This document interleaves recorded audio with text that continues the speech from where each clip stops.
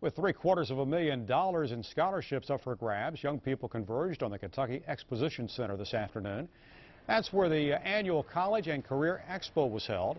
Some 250 exhibitors from colleges and businesses were on hand. People could meet one-on-one -on -one with recruiters and career counselors. And Edie Black, who was helping out her daughter, says that's important.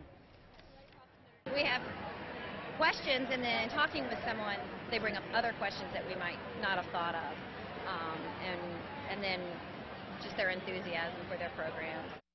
Jasmine Payne wants to be a nurse and needs financial assistance to get there.